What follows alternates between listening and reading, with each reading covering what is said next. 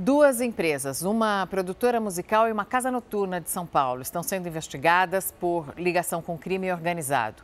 De acordo com a Polícia Federal, essas empresas eram usadas para a lavagem de dinheiro. E um empresário que é dono de uma loja de carros também é suspeito. Dezenas de carros esportivos, uma coleção de relógios de grife, mansões e mais de meio milhão de reais em dinheiro vivo guardados em casa.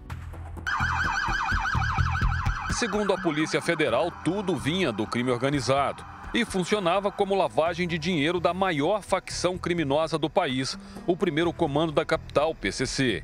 O material foi apreendido em uma operação que envolveu a Polícia Federal, auditores fiscais e agentes da Receita Municipal de São Paulo.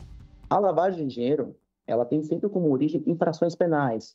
Ou seja, como que você conseguiu esse dinheiro? De onde que ele veio? Uma prática de estelionato? Uma prática de tráfico de drogas? Então, sempre é uma origem ilícita.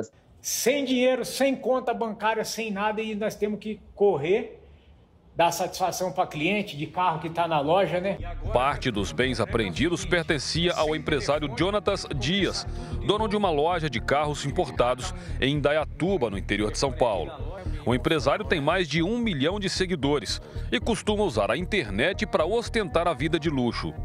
Poucos minutos depois de ser alvo da operação, ele publicou um vídeo dizendo que a justiça havia bloqueado o acesso dele ao dinheiro. Agora não sobrou um para contar a história.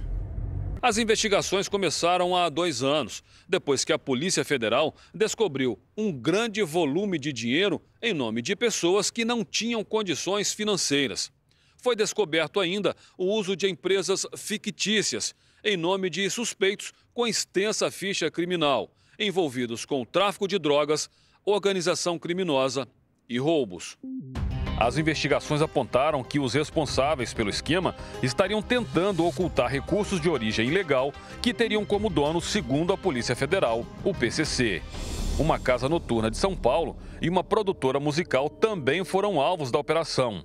Rodrigo Inácio, dono da produtora, já havia sido autuado no ano passado em 43 milhões de reais pela Receita Federal por sonegação de imposto.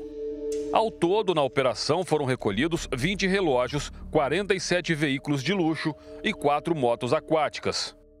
Por um acaso eu tiver devendo alguma coisa, a justiça vai ser feita comigo. Eu vou perder, eu vou ser preso e que a justiça seja feita. Para ela, sim, nós vamos prestar conta. A Justiça decretou o bloqueio de valores em contas bancárias das pessoas físicas e das empresas investigadas, um valor aproximado de um bilhão de reais, e determinou o sequestro de bens imóveis e veículos avaliados em mais de 60 milhões.